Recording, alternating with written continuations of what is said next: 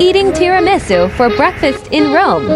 Just found out I'm in the country where tiramisu was created. I'm going through a pistachio phase, so obviously had to try that flavor. These were much creamier and sweeter than in the States. Love being able to swap flavors with my friend, so I get to try the original. We'll be on a mission to try every tiramisu we see for the next week. Enjoy the knobs.